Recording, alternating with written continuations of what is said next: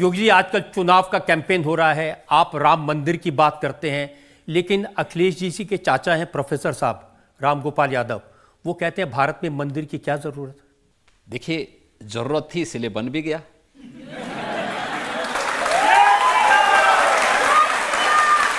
मेरा ये मानना है,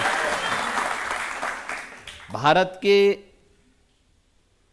इतिहास की सबसे महत्वपूर्ण और अभूतपूर्व हर भारतवासी को अभिभूत और आनंदित करने वाली घटना है अयोध्या में। श्री राम जन्मभूमि पर मर्यादा पुरुषोत्तम, प्रभु श्री राम का भव्य मंदिर का निर्माण। आप देख रहे होंगे अयोध्या के अंदर लाखों की संख्या में श्रद्धालु प्रतिदिन आ रहे हैं, आज भी आ रहे हैं। इतनी भीषण गर्मी है, तब भी लोग आ रहे हैं। अयोध्या की, आज की अयोध्या को और आज से दस वर्ष पहले की अयोध्या को देख करके कोई आता है तो पहचान नहीं पाता है कि सचमुच ये वही अयोध्या है। मैं देख रहा था, पूरे देश के अंदर जो, अंदर से जो भी श्रद्धालु वहाँ आए थे, कोई ज़मीन चूम रहा है, कोई पिलर को चूम रहा है, उनके आँखों में आँसू थे। तो मैंने कुछ लोगों से पूछा, मैंने कहा कि आप इतने भावुक क्यों हो जा रहे हैं? उन्होंने कहा, साहब, जिस कार्य को देखने के लिए हमारी कई पीढ़ियाँ तरस गई 500 वर्षों के उस लंबे इंतज़ार को मोदी जी ने समाप्त करवा दिया। अयोध्या में जो कार्य अयोध्या के लिए और दुनिया के लिए असंभव था, उसको मोदी जी ने संभव बना दिया।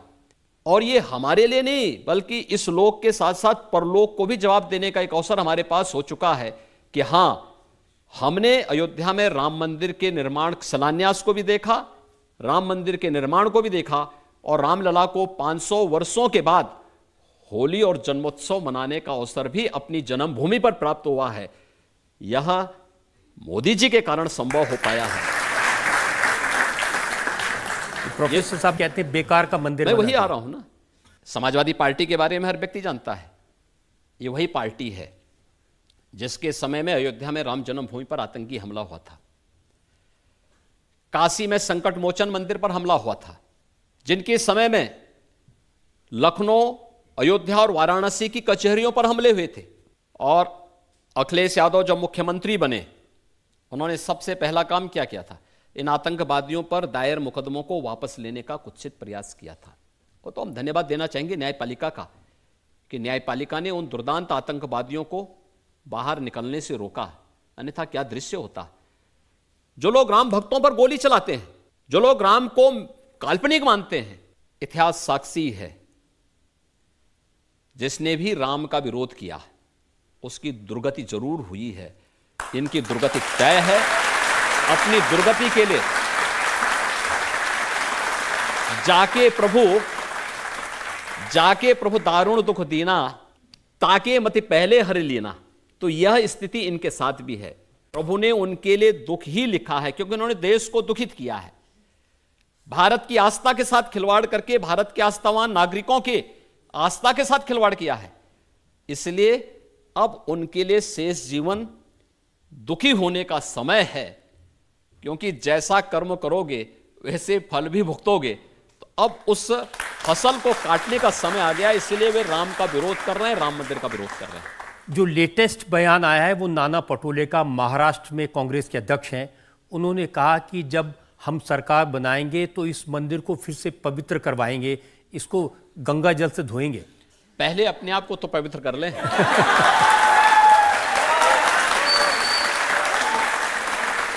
और राहुल गांधी तो बार बार अपनी हर पब्लिक मीटिंग में ये कहते हैं कि ये जो प्राण प्रतिष्ठा का कार्यक्रम है इसमें उन्होंने अमिताभ बच्चन को देखा ऐश्वर्या राय को नाचते हुए देखा लेकिन किसी गरीब को किसी मजदूर को नहीं देखा।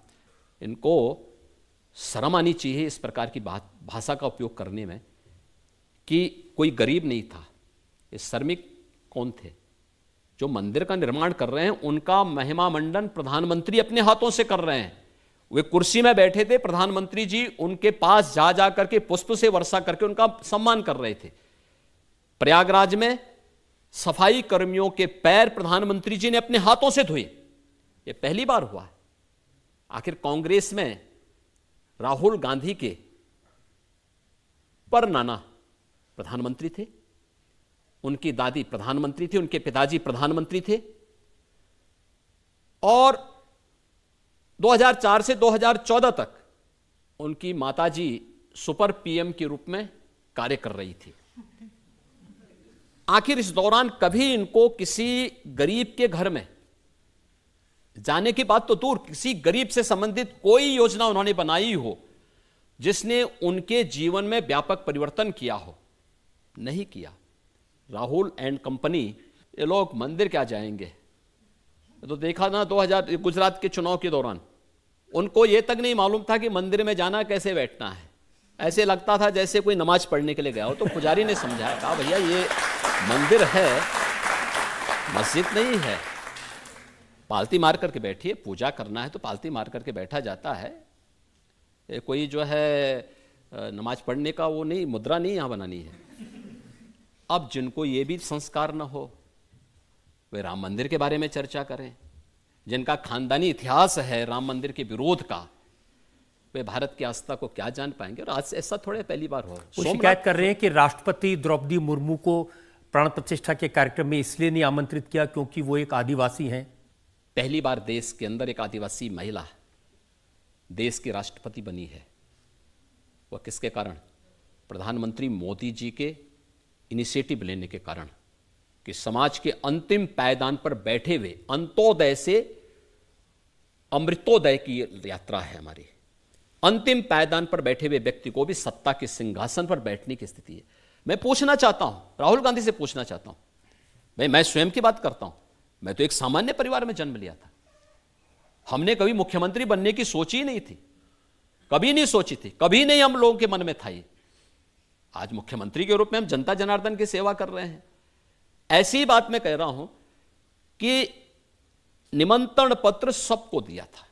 आदरणीय राष्ट्रपति जी को भी, आदरणीय उपराष्ट्रपति जी को भी, पूर्व राष्ट्रपति आदरणीय रामनाथ कोविंद जी को भी, जिस सूची में हर तबके के लोग थे तो अमिताभ बच्चन भी उसमें थे और मुझे लगता है कि हमें उनकी कला पर सम्मान का भाव रखना चाहिए। नहीं ऐश्वर्या राय तो नहीं थी लेकिन उनको दिखी। मैं क्या कर? देखिए उनकी दृष्टि ही वैसी है। दृष्टि दोष इसी को कहते हैं। दृष्टि दोष ऐसे अगर ऐश्वर्या राय जी भी रहती तो अच्छी बात होती। भाई आखिर वो भारत की नागरिक है। उनको आने का अधिकार है। और क्या अमिताभ बच्चन की कला और कला जगत में उनके योगदान को आप विस्मृत कर लेंगे? और अगर विस्मृत कर रहे हैं तो क्यों कांग्रेस ने उन्हें चुनाव लड़ाया था प्रयागराज से?